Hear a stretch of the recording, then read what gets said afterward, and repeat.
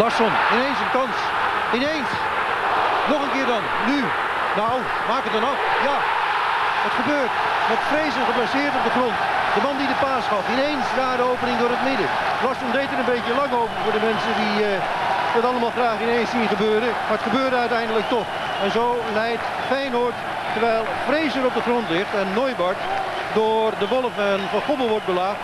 Omdat Neubart aan het vriendje van Vrezen zou hebben gezeten.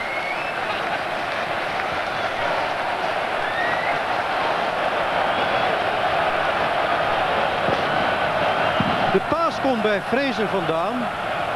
En omdat hij snel gaat, is daar ineens dat gaatje. Daar komt Fraser, daar komt Neubart. Nou, tilt ze wel zijn been op, maar ja, het is een actie die moet kunnen. En dan gaat de aanval natuurlijk door. Ook al zou het een overtreding zijn, dit is zo'n duidelijk geval van voordeelregel.